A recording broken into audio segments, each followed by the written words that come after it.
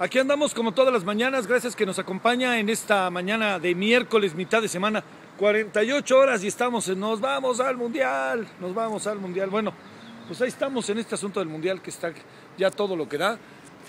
Yo lo muestro como todas las mañanas a esta honorable ciudad que hoy está un poquito más despejada que ayer. Para que se dé una idea son las 7.37 y para que vea cómo va amaneciendo esta ciudad capital del país, esté donde esté y nos escuche donde nos escuche y nos vea donde nos vea. Bueno, aparezco por acá. Gracias que nos acompaña. Yo espero que haya tenido usted una buena, que haya tenido usted una buena noche y haber muchos asuntos, ¿no? Así como en cascada. Mañana hablaremos de fútbol si le parece. Yo por lo pronto le informo que lo que sí está siendo un asunto importante, me lo parece, es un hecho, lo voy a colocar así para que no para que no haya, este, no le dé el sol a la, al, al, iPhone. Pero un hecho que es eh, sin duda alguna importante es el que eh, haya, en el que se haya establecido eh, ya de manera formal un acontecimiento que a mí me, me, me, parece que debe de llamarnos la atención. Un joven de 20 años, de nombre Javier Covarrubias, arma un escándalo mayúsculo en el en todo Tepito. Tepito materialmente se levanta en armas, Tepito se va encima de, se manifiesta a lo largo del día, hay innumerables problemas este, derivados de, de lo que pasa con Tepito y en este sentido todo se debe a la desaparición de niños. Javier Covarrubias es el padre que dice que perdió a dos de sus hijos, que se los secuestraron. Entonces empieza a creer esta psicosis de la rumorología hasta que llegamos al desenlace del asunto. Eh, Javier Covarrubias eh, confiesa que perdió a sus hijos, que no sabe qué ha pasado de ellos, pero tarde que temprano acaba contando la verdadera historia. Y la verdadera historia es dramática, patética, brutal, es, ah, desde donde se vea, verdaderamente lamentable, dolorosísima. Javier Covarrubias, joven, de 20 años, máximo 21 años, asesinó, descuartizó, metió en bolsas a sus hijos. Uno tenía tres años y medio y la otro tenía ocho o nueve meses. ¿Qué es lo que sucede para que pasen estas cosas? ¿Qué, ¿Qué, es lo que rompe los equilibrios? ¿Qué le puede pasar a un joven por la cabeza? Uno diría, bueno, un mal congénito, una malformación, herencia. A ver, ¿qué quiere que inventemos? Pues todo lo que ha habido y por haber. Pero también hay otra cosa, ¿eh?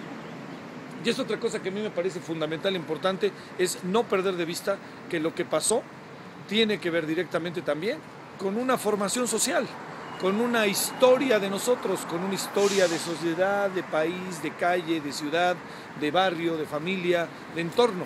Y esa historia yo creo que es muy importante no perder de vista que la relevancia que tiene es que determina y va marcando destinos, va marcando desarrollos, y en este caso de Javier Covarrubias.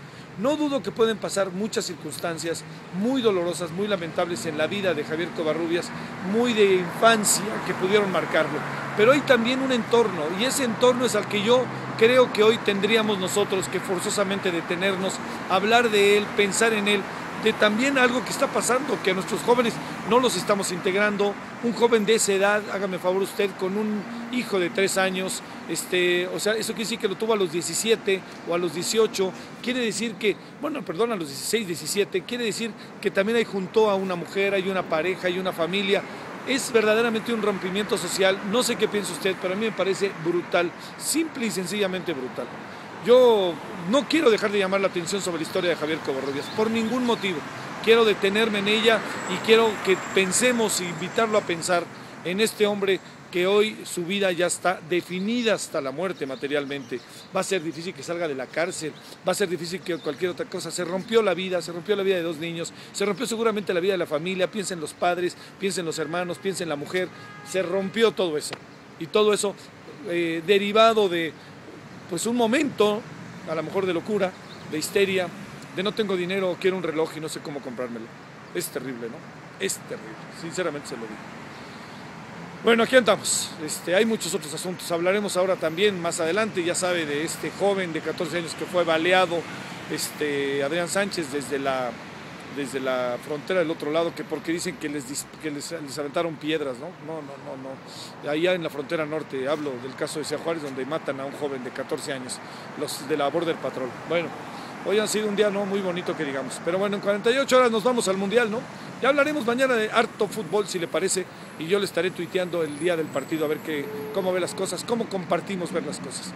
Le mando saludos, javiersolorzano.com, gracias por acompañarnos. Ya nos vamos al cielo para despedirnos, que al fin y al cabo dicen que es infinito. Adiós.